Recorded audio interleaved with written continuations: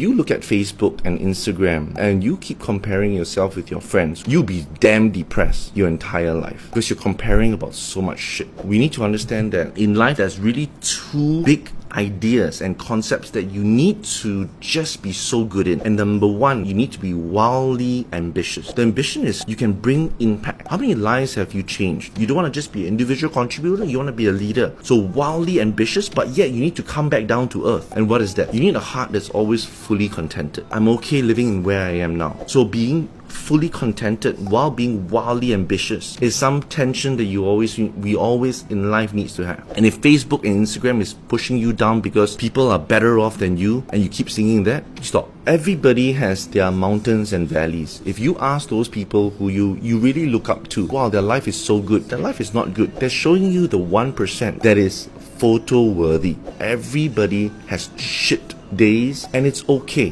The more you compare, the more you're not contented, the more it goes down spirally. So be contented with what simple things. And one exercise I do regularly is this. Just be grateful about the things that you have. As much as you want to be able to push yourself, be grateful for the things that you have. I'm always grateful for Singapore. I'm grateful for running water, being able to just drink from the tap. I'm grateful for safety. So the more your heart is fully, fully grateful, fully contented, it helps you to be centered to push to be wildly ambitious. And wildly ambitious could also be things like I want to follow my passion, I want to follow my interest.